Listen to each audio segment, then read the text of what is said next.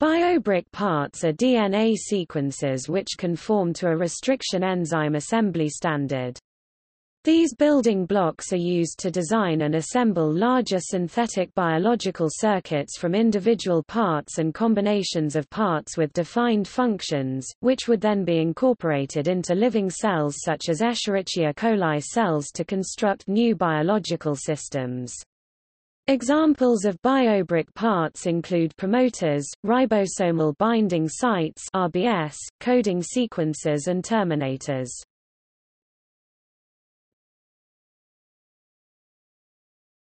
Topic. Overview The biobrick parts are used by applying engineering principles of abstraction and modularization. Biobrick parts form the base of the hierarchical system on which synthetic biology is based. There are three levels to the hierarchy, Parts, pieces of DNA that form a functional unit for example promoter, RBS, etc. Device, collection set of parts with defined function. In simple terms, a set of complementary biobrick parts put together forms a device. System, combination of a set of devices that performs high-level tasks. The development of standardized biological parts allows for the rapid assembly of sequences. The ability to test individual parts and devices to be independently tested and characterized also improves the reliability of higher-order systems.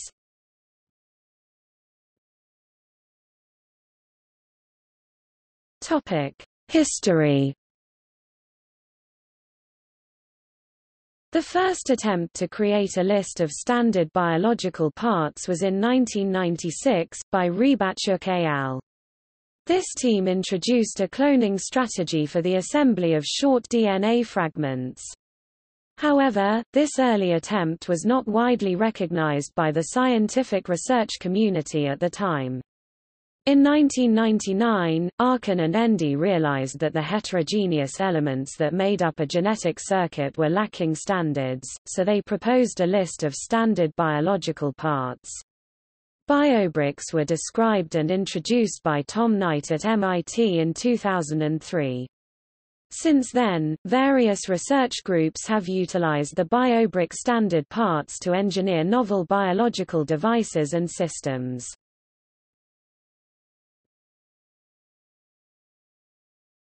Topic: BioBricks Foundation. The BioBricks Foundation was formed in 2006 by engineers and scientists alike as a not-for-profit organization to standardize biological parts across the field. The foundation focuses on improving in areas of technology, law, education and the global community as they apply to synthetic biology. BioBricks Foundation's activities include hosting SBX.0 conferences, technical and educational programs. The SBX.0 conferences are international conferences on synthetic biology hosted across the world. Technical programs are aimed at the production of a series of standard biological parts, and their education expansion is creating acts which help create open, standardized sources of biological parts.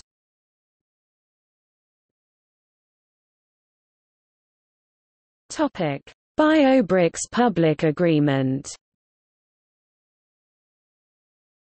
As an alternative to traditional biotechnology patent systems and in an effort to allow BioBricks to be utilized as an open-source community standard, the BioBricks Foundation created the BioBricks Public Agreement BPA. The BPA allows users to establish invention of uses of parts, to disclose patents on parts combinations, and to freely build on the contributions of other users.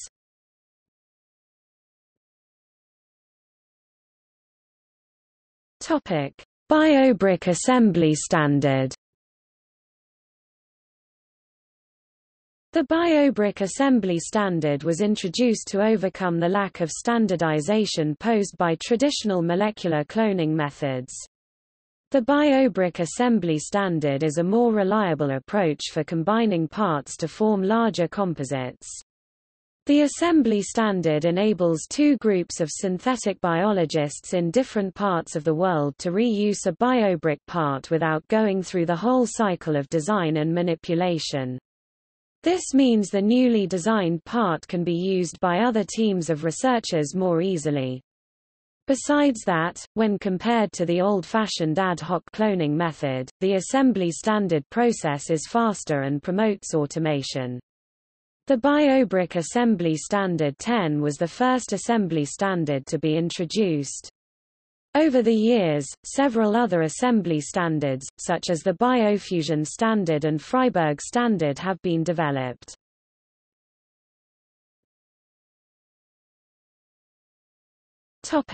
BioBrick Assembly Standard 10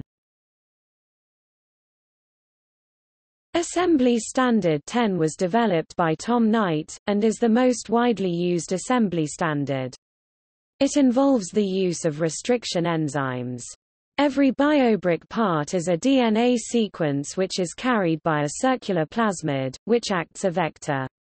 The vector acts as a transport system to carry the biobrick parts.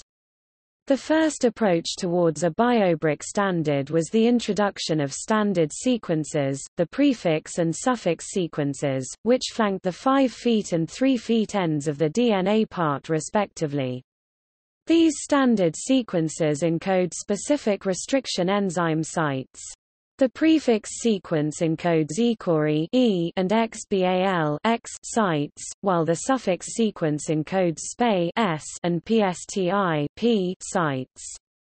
The prefix and the suffix are not considered part of the biobrick part. To facilitate the assembly process, the biobrick part itself must not contain any of these restriction sites. During the assembly of two different parts, one of the plasmids is digested with ECORI and SPA. The plasmid carrying the other biobrick part is digested with ECORI and XBAL. This leaves both plasmids with four base pair BP overhangs at the 5 feet and 3 feet ends. The ECORI sites will ligate since they are complementary to each other. The XBAL and SPA sites will also ligate as the digestion produces compatible ends. Now, both the DNA parts are in one plasmid. The ligation produces an 8-base pair SCAR site between the two biobrick parts. Since the SCAR site is a hybrid of the XBAL and SPA sites, it is not recognized by either restriction enzyme. The prefix and suffix sequences remain unchanged by this digestion and ligation process, which allows for subsequent assembly steps with more biobrick parts. This assembly is an idempotent process, multiple applications don't change the end product, and maintain the prefix and suffix. Although the BioBrick standard assembly allows for the formation of functional modules, there is a limitation to this standard 10 approach. The 8BP SCAR site does not allow the creation of a fusion protein. The SCAR site causes a frame shift which prevents the continuous reading of codons, which is required for the formation of fusion protein. Tom Knight later developed the BB2 assembly standard in 2008 to address problems with joining the scars of protein domains and that the scars consist of eight bases, which will yield an altered reading frame when joining protein domains. The enzymes used for digestion of the initial parts are almost the same, but with modified prefixes and suffixes.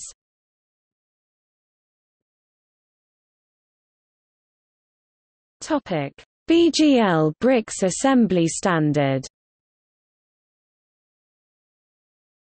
The BGL brick assembly standard was proposed by J. Christopher Anderson, John E. Duber, Mariana Leguia, Gabriel C. Wu, Jonathan C. Goller, Adam P. Arkin, and J. D. Kiesling in September 2009 as a standard very similar in concept to BioBrick, but enabling the generation of fusion proteins without altering the reading frame or introducing stop codons and while creating a relatively neutral amino acid linker SCAR glyzer. A BGL brick part is as a DNA sequence flanked by 5 feet Ecori and BGLII sites and 3 feet BAMHI and XHOI sites and lacking in these same restriction sites internally. The upstream part in the pairwise assembly is purified from an Ecori, BAMHI digest, and the downstream part plus vector is purified from an Ecori, BGLII digest.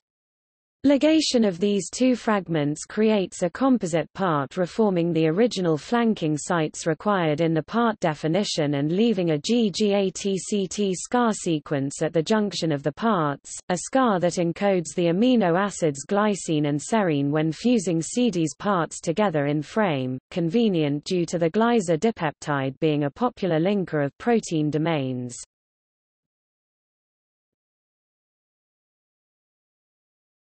Topic: Silver biofusion standard. Pam Silver's lab created the Silver assembly standard to overcome the issue surrounding the formation of fusion protein. This assembly standard is also known as Biofusion Standard, and is an improvement of the BioBrick Assembly Standard 10. Silver's standard involves deletion of one nucleotide from the XBAL and SPA site, which shortens the SCAR site by two nucleotides, which now forms a 6BP SCAR sequence. The 6BP sequence allows the reading frame to be maintained. The SCAR sequence codes for the amino acid threonine ACT and arginine AGA. This minor improvement allows for the formation of in-frame fusion protein. However, arginines being a large, charged amino acid is a disadvantage to the biofusion assembly technique. These properties of arginine result in the destabilization of the protein by the N-end rule.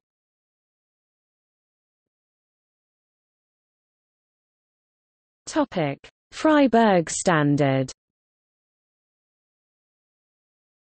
The 2007 Freiburg IGEM team introduced a new assembly standard to overcome the disadvantages of the existing biofusion standard technique. The Freiburg team created a new set of prefix and suffix sequences by introducing additional restriction enzyme sites, AGA and NGOMIV to the existing prefix and suffix respectively. These newly introduced restriction enzyme sites are BioBrick standard compatible. The Freiberg standard still forms a 6BP SCAR site, but the SCAR sequence ACCGGC now codes for threonine and glycine respectively. This SCAR sequence results in a much more stable protein as the glycine forms a stable N-terminal, unlike the arginine, which signals for N-terminal degradation. The assembly technique proposed by the Freiburg team diminishes the limitations of the biofusion standard.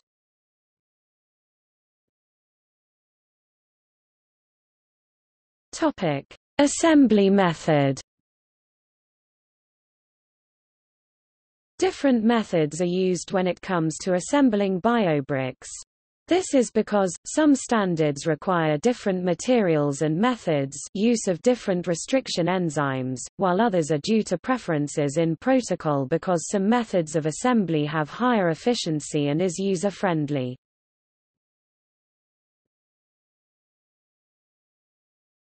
Topic: 3-antibiotic 3A assembly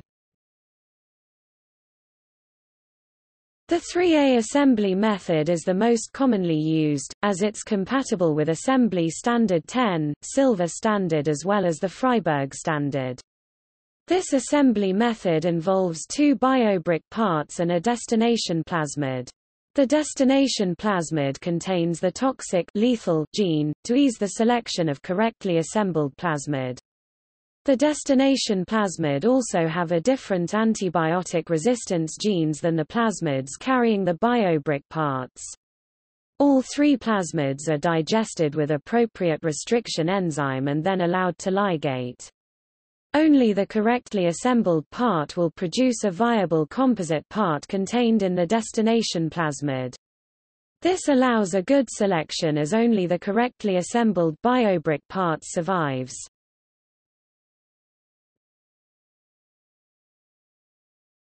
Topic: Amplified insert assembly. The amplified insert assembly method does not depend on prefix and suffix sequences, allowing to be used in combination with a majority of assembly standards. It also has a higher transformation rate than 3A assembly, and it does not require the involved plasmids to have different antibiotic resistance genes. This method reduces noise from uncut plasmids by amplifying a desired insert using PCR prior to digestion and treating the mixture with the restriction enzyme DPNI, which digests methylated DNA-like plasmids. Eliminating the template plasmids with DPNI leaves only the insert to be amplified by PCR. To decrease the possibility of creating plasmids with unwanted combinations of insert and backbone. The backbone can be treated with phosphatase to prevent its relegation.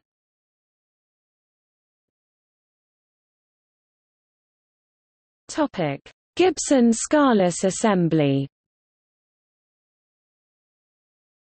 The Gibson-Scarless assembly method allows the joining of multiple biobricks simultaneously.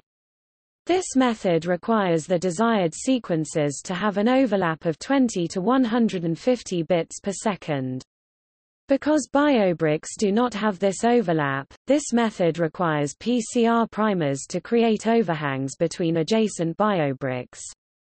T5 exonuclease attacks the 5' feet ends of sequences, creating single-stranded DNA in the ends of all sequences where the different components are designed to anneal. DNA polymerase then adds DNA parts to gaps in the anneal components, and attack ligase can seal the final strands.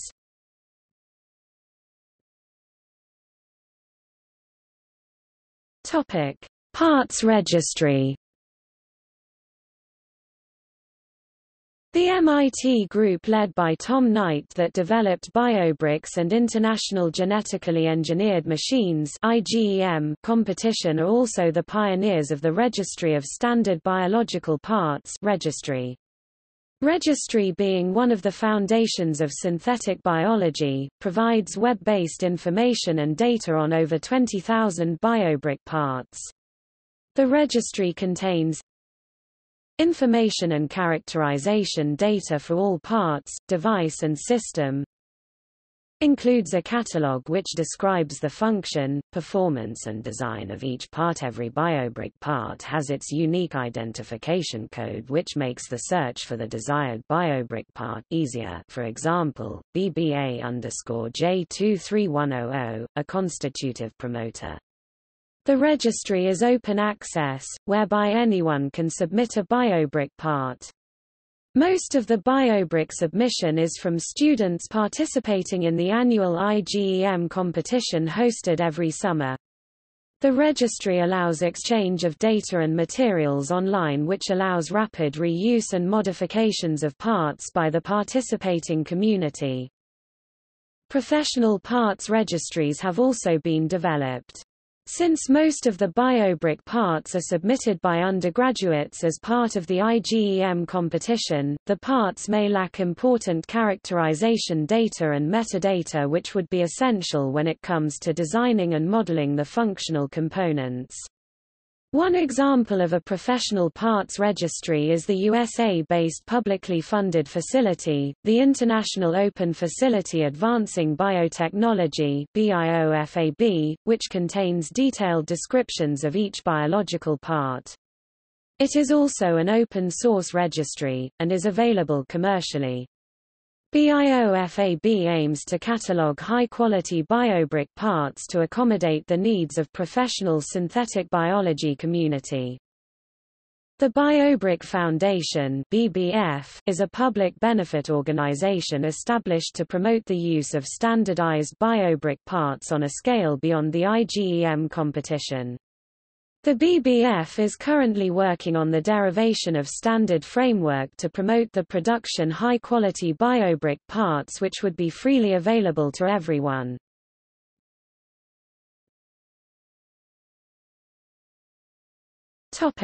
See also. Synthetic biology. Wetware. IGEM competition